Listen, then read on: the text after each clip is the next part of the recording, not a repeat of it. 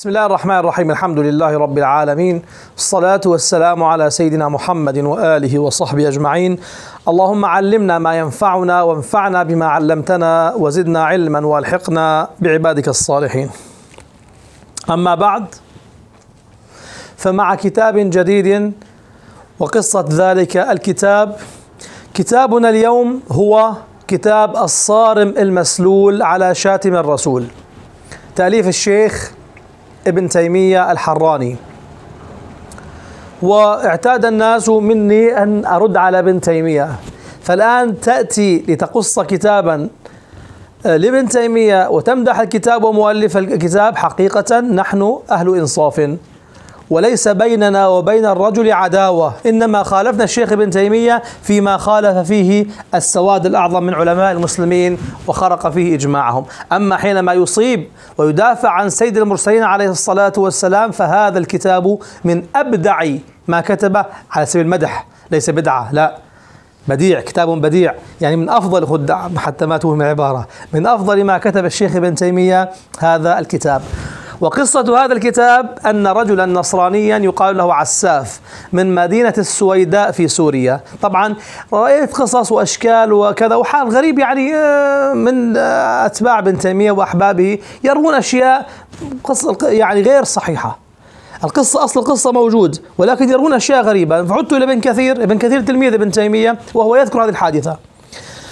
وهو أوثق تلميذه المباشر وأيضا مؤرخ فيذكر هذه الحادثة أن مدينة السويداء أن في مدينة السويداء رجل يقال له عساف. عساف هذا نصراني شتم النبي الأعظم عليه الصلاة والسلام. فشهد عليه الشهود وارتفع الأمر إلى القضاء. فحكم عليه ب يعني الحكم الذي يستحقه ما هو القتل يعني باتفاق المسلمين باتفاق العلماء. يعني إذا كان مسلما وشتم النبي عليه الصلاة والسلام هذا يكون قد كفر برسول الله صلى الله عليه وسلم. وإذا كان كافرا يعني ذميا إذا كان حربيا هذا أمر منتهي وأصلا هو يعني من أهل القتل والقتال. إذا كان معاهدا فيكون قد انتقض عهده. فوقع في ورطة كبيرة. طبعا فيه تفصيلات كبيرة. لا أعطيك تصورا عاما عن المسألة. أما التفصيلات فقد فصلها الشيخ ابن تيمية في هذا الكتاب. فهذا عساف النصراني بعد أن وقع في هذه الورطة وقامت عليه الشهادة وارتفع الأمر للقضاء جاء الشيخ ابن تيمية وأحد الشيوخ شيخ أظن اسمه الفارقي يعني شيخ دار الحديث كلاهما ذهب إلى آه الأمير أو نائب السلطنة وقال له هذا الرجل يجب أن يقتل. اعتدى على سيدنا رسول الله صلى الله عليه وسلم. في البداية يعني استجاب لهما وأمر بإحضاره في طريقه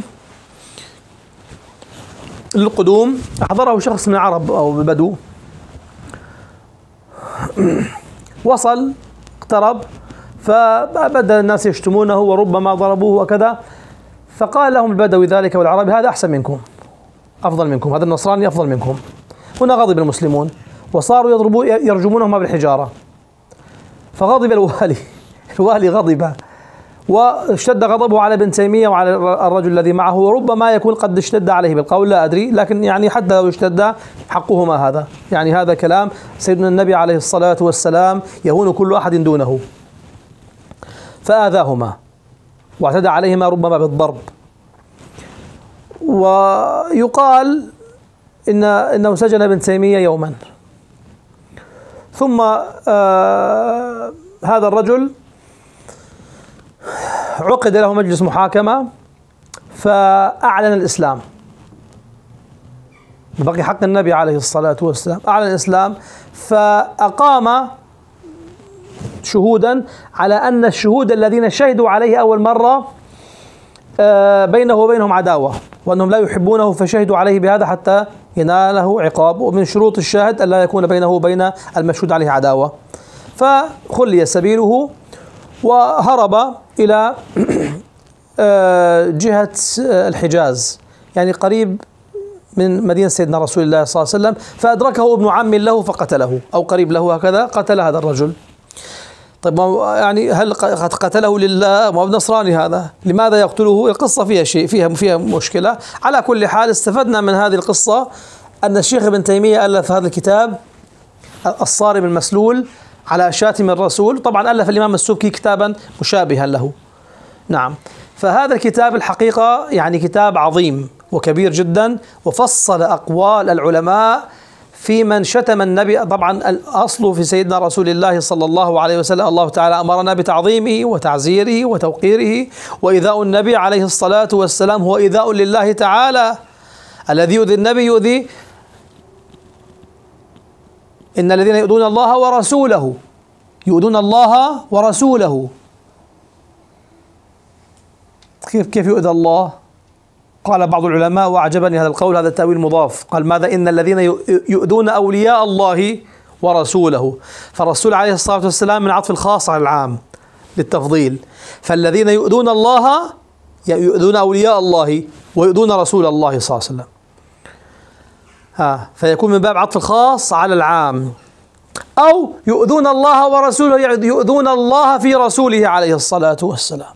بإيذاء النبي يكون أذية لله الله تعالى لا يؤذى. لكن إيذاء النبي نبي بشر عليه الصلاة والسلام. فيعني الأذى يمكن أن ينال البشر. لكن رب البشر لا يناله لا, ينال لا يناله أذى. فألف الشيخ ابن تيمية هذا الكتاب العظيم في آه، تعظيم النبي عليه الصلاة والسلام ووجوب تعزيره وتوقيره وفي حكم من آذى النبي عليه الصلاة والسلام وحكم من شتمه عليه الصلاة والسلام وإجماع علماء الإسلام على أن هذا يقتل.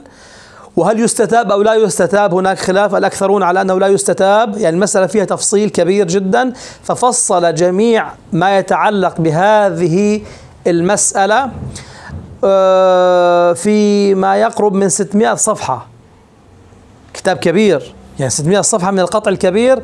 فصل فيه هذه الأحكام تفصيلا وأتى بأقوال العلماء وبالتفصيلات والتفريعات وبكل ما يتعلق بهذا. سمعت من بعضهم أنه ألفه في مدة يسيرة وربما في ثلاثة أيام أو هكذا يعني على أثر هذه الحادثة. فهذا الكتاب من أفضل ما كتبه ابن تيمية ولا أعلم خلافا في هذه المسألة. لا أعلم يعني جميع مشايخنا وعلمائنا يمدحون هذا الكتاب. ويثنون على موضوعه. وهنا أيضا يعني وقفة يسيرة. يعني أولئك بعض المتصوفة المتعصبين الذين يقولون ابن تيمية لا يحب النبي عليه الصلاة والسلام. لا يليق هذا الكلام. هذا غير صحيح. هو يحب النبي عليه الصلاة والسلام. ولكن أخطأ في مسألة الزيارة. يعني قضية الزيارة أخطأ فيها. أخطأ بخرق الإجماع. يعني إذا أنت تحب ابن تيمية هل معنى أنك تغالي في كل ما قال ابن تيمية وتجعله كذا كذا؟ لا ابدا. أخطأ في في مسألة الزيارة خطأ واضحا وتكلف يعني التأويلات ما أنزل الله بها من سلطان لكن في هذا الكتاب أحسن إحسانا كبيرا فهو يحب النبي عليه الصلاة والسلام وتعرض للأذى بسبب موقفه من يعني آه ذلك الرجل الذي آذى النبي عليه الصلاة والسلام وهذا أذيته في الله يعني هو يعني فعل هذا الفعل فعل لله تعالى.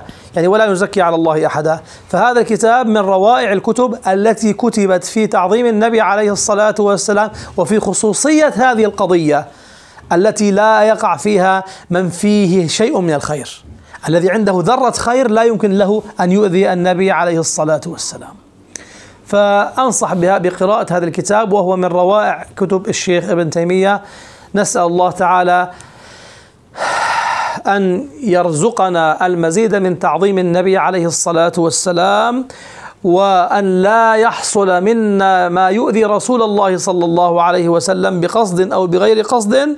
ونسأل الله تعالى أن نكون قرة عين لسيد المرسلين محمد عليه الصلاة والسلام. وآخر دعوانا أن الحمد لله رب العالمين ولا حول ولا قوة إلا بالله العلي العظيم. وصلى الله على سيدنا محمد وآله وصحبه وسلم ولا حول ولا قوة إلا بالله العلي العظيم.